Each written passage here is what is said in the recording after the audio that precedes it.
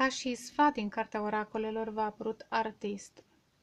Și bănuiesc că pentru unii dintre voi ar trebui să, să vă găsiți echilibru și să vă mm, regăsiți pasiunea, încrederea, poate într-un context artistic, prin muzică, prin dans, prin pictură, prin teatru, prin orice ține de artă.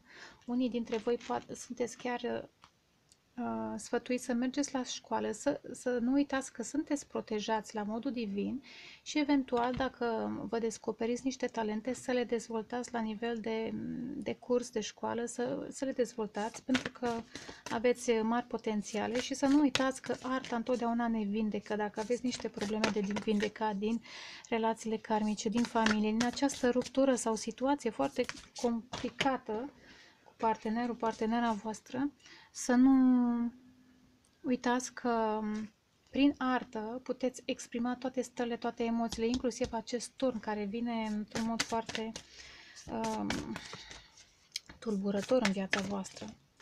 Încerc pentru toate întârzierile care s-au produs și problemele te tehnice să mai vin cu un sfat de la înger pentru voi. Săgetător aprilie 2019, un sfat, vreau frumos.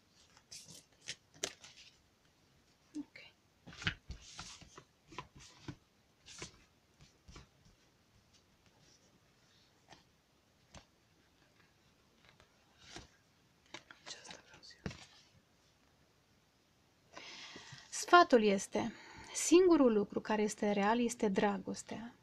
Ce frumos!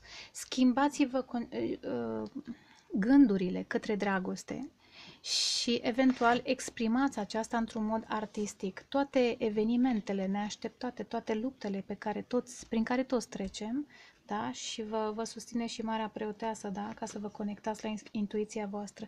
Toate luptele, toate experiențele prin care trecem toți, toți, uh, ne aduc mai devreme sau mai târziu la această um, înțelegere profundă a lucrurilor, că singurul lucru real este dragostea și în primul rând dragostea pentru voi înși vă. Să nu uitați că uh, evenimentele din viață ar trebui să ne facă mai puternici și să nu ne închidă chakra inimii și să ne ajute să ne proiectăm într-un viitor mai bun,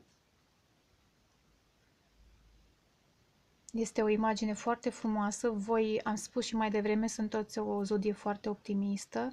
Prin tot ceea ce treceți, nu uitați că sunteți protejați, cum am spus mai devreme, da? că sunteți protejați și că cel mai important lucru este dragostea. Dragostea pe care o primiți uh, nu musai de la cele, cei apropiați, ci de la îngerii voștri protectori, de la prietenii de suflet, Ă, poate chiar și de la străini, de la oameni necunoscuți, pentru că meritați. În momentul în care conștientizați acest lucru, încercați și transpuneți într-un mod artistic, s-ar putea să iasă ceva interesant ce nici voi nu,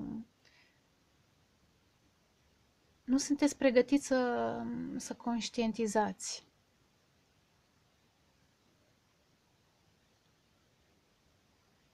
De asemenea, simt că în momentul în care vă concentrați pe lucrurile pozitive, reușiți să manifestați și lucruri pozitive și să vă manifestați succesul, drepturile, sporul, uh, toate lucrurile pe care vi le-ați dorit. Poate chiar și acea relație